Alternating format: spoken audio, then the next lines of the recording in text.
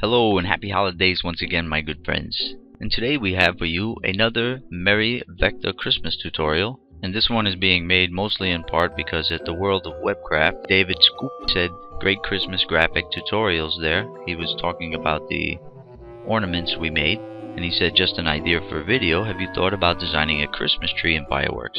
So that's mostly why we have this tutorial being created right now for this Christmas tree. It's just a really cool effect and I thought you guys would dig it. And you can get a lot of workflow design tips in fireworks by watching me produce this thing in real time.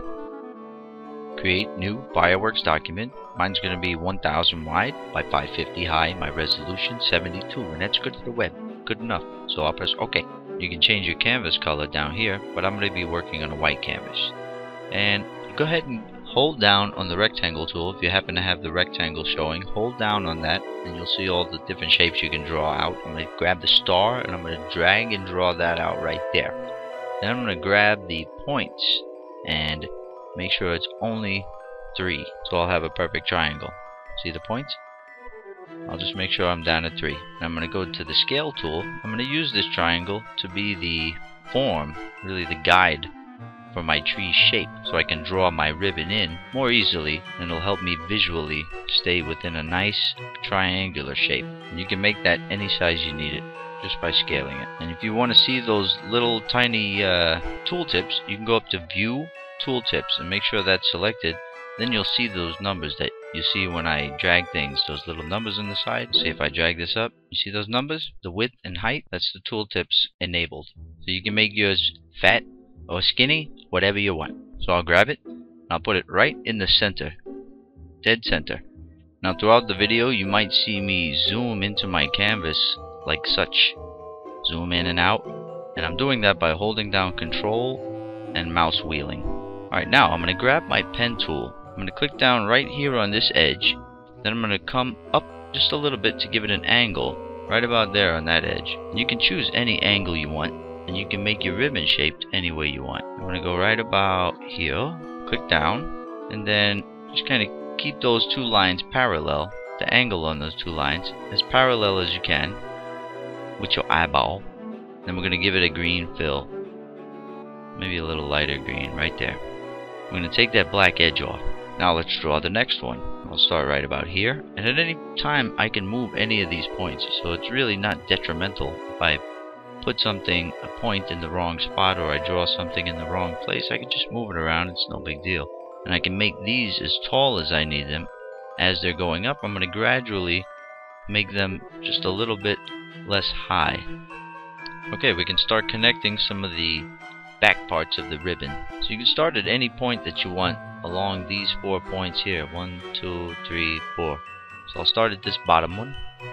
And I'll click let go click down, let go here, click down, let go here, and then click down, let go here.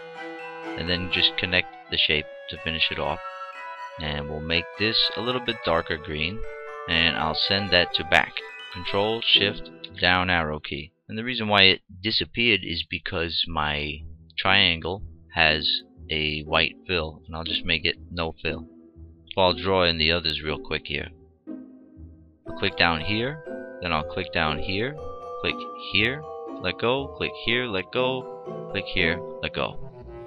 Then give it a fill to match this color, no edge if it happened to have a white edge or whatever, and then send to back. Control Shift down arrow key. We can adjust those points if we need to, and we are. This one here is sticking up a little bit, so we'll fix that and everything. Alright, let me get my last one in. Click here, let go, click here, let go, click here, let go, click here, let go, and then finish off the shape. Give it a fill, no edge, and then send to back. Now let's take a look at this one up here. We'll make it a little bit smaller by grabbing the sub selection tool, bringing these points down a little bit so it's not so tall, but still keeping an angle on it. Then we can adjust the points on that one, bring that down a bit, bring this over one, and just make it to where this one's not showing behind the other one. And at this point, you can just move your triangle if you want, get it out of the way. Adjust these points to where everything looks real nice and sharp. this point on that one in the back needs to come down one here maybe one more maybe this point come down a little okay now let's shape the bottom so we'll grab the pen tool let's click down at this point right here click down here and let go and then make this one just go straight up. Click down let go and then click down here and let go. And once you have that piece drawn in you can send it to back by pressing control shift down arrow key. Let's grab the pen tool again. Next shape is going to start right here. So click down at this point let go then maybe come to right about here. Click down let go give it the angle that you want. I want mine right about right about there I'll click down let go click down here let go then click down here. And this one I'm gonna give it a solid color of this lighter front color. You can see what that does. Let's move it over one. Right there looks good. Okay now we'll put one more last little fold down at the bottom here. So let's click down here at this point and right about there and then angle it back up just a little bit and then connect it at the bottom. Go to your pointer tool highlight it control shift down arrow key will send it to back. And we have no more use for this triangle so I'm just gonna press control X and get rid of it. Okay now to make this look a little more genuine we're gonna put some gradients on it and we're gonna make sure that we unite or combine some of these shapes. All your bright shapes all of your front facing ribbons. Highlight all of those by holding shift and you can select them and highlight them all together. Once you have them all highlighted you go up to modify combine paths and union. Now they're all one piece or one path but don't move it. Leave it right where it is. Then you're going to highlight this back piece this back piece this back piece this back piece and this back showing piece once you have all of those selected, you go to Modify, Combine Paths, and you're going to union those as well. So now you have two different paths, one for the front and one for the back. So we can get these gradients now more easily now that they're all one piece. So let's select the front facing ribbon, go to its fill selector, gradient, and we're going to select cone. Now cone is the best option for this because our shape happens to be triangular and I'll show you what I mean. Right there, if you put it right there, it doesn't look very authentic because it just looks like there's a, a nipple or a point coming straight out at us right at that point right there and that makes no sense. Or even if you put it up there, that makes little sense. But what you can do is put it at the very top where your triangle would be and then you can rotate this guy around like that. But what you do is you go into the cone gradient colors and then you move the green in so you see that? See as I move the green in, that'll allow me to get more of a tight gradient line. And then I can just wheel it around like that to get any light direction that I want. And where it's white, I really don't want it white. I want it to be a very, you know, let me go into my color selector right about there, that light green, very light green. Okay, instead of white. And I can do the same thing to the back. Go to its fill, gradient, cone, move it up to the top where it would be at the very tippy top point of your triangle, and you can move this around just like we did the other one, but this one you're going to make dark where it's light. And where it was dark, we're going to make that a little bit lighter, or a very light color, like that. This one, we're going to darken it. Make it a very dark green. Okay, then we can bring in the bright green like that.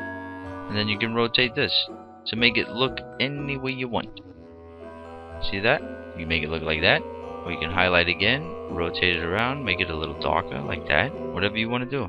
But now it has a more authentic curvature to my ribbon in the front and the back. Or the front face of the ribbon and the back face of the ribbon.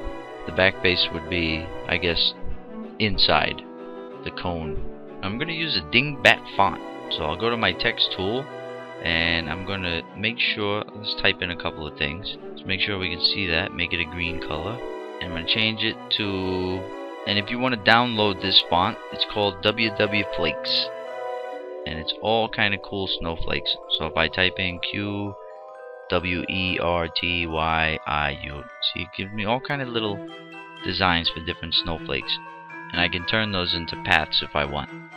So it's not text anymore, it would be paths at that point, like any other shape.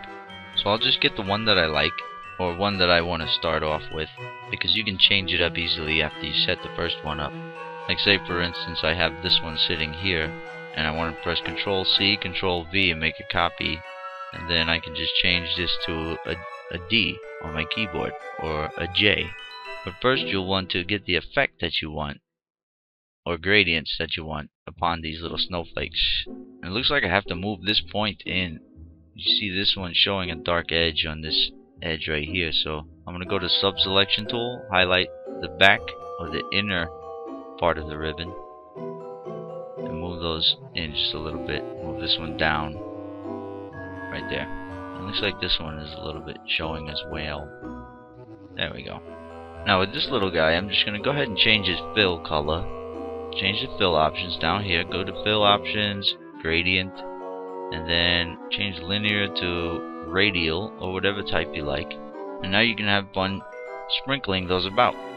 And if you happen to change any of these like say if I put one here and I change it to that right there and I make it bigger maybe 67 just remember you have to change your gradient to match. Okay? Like that. This one should come out a little more like that. You just sprinkle those about. Now you can just keep going through there with your snowflakes till you wind up with something like this. I just made a variety of sizes and chose different snowflakes. And this one is also part of the font and I thought it'd be perfect for the top of the tree. So what I'm going to do is make a little ro more room on my canvas. So canvas size I'll go to maybe 750. Okay and now I have room at the top. So I'll make that a little bit bigger. Right about there. Put that in the center. And bring this down. And then make sure it's sent to back. If you have yours on the front like that you can leave it on top if you want. Actually that looks pretty good like that. Or you can send to back. Control shift down. Yeah I'm gonna send mine to back. And now for the finishing touch is we'll put a little shadow underneath. So grab an ellipse and make it maybe around that big like that. And you can just make this solid. This dark green color would work right there. And then we can go to blur Gaussian blur. Blur it real nice okay. And then bring the opacity down. Right about there. And if that's on top of everything make sure you send that to back like that. And then bring it down and put it where it looks like it would be a nice shadow for that illustration. Okay, so there is the completed Vector Christmas tree. Hope you enjoyed that one, and hopefully we'll have some more Vector Christmas tutorials coming before it gets too close to Christmas.